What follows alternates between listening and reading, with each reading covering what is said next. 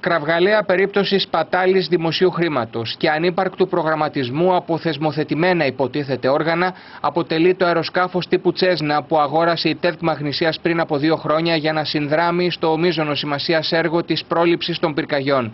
Το μονοκινητήριο αεροσκάφος κόστησε 65.000 ευρώ και η αγορά του εξασφαλίστηκε από τον τότε Υφυπουργό Εσωτερικών Θανάση Νάκο.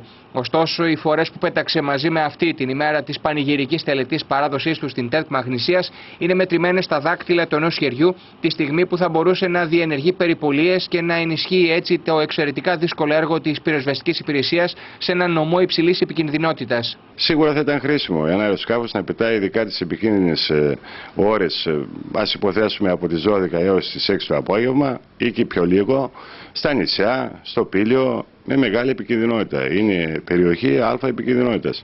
Θα μας βοηθούσε στο έργο αυτό της πρόληψης των πυρκαγιών και ίσως να μας έδινε και γρήγορα αιστείες, πιθανές αιστείες που εκείνη τη στιγμή θα πετύχει το αεροσκάφος. Το αεροσκάφος τύπου Τσέσνα βρίσκεται παροπλισμένο στην ουσία στο πολιτικό αεροδρόμιο της Νέας Αγχιάλου. Ενώ ο απερχόμενος πρόεδρος της ΤΕΤ Μαγνησίας Απόστολος Αρέθας δηλώνει ότι δεν υπάρχουν λεφτά για την αξιοποίησή του και πως θα περάσει στην αρμοδιότητα της υποσύσταση Περιφερειακής Ένωσης Δήμων, η οποία θα αντικαταστήσει τη ΤΕΤ εντός του καλοκαιριού. Σίγουρα θα βοηθούσε στο έργο της ε, δασοπυρόζη ένα τέτοιο αεροσκάφος.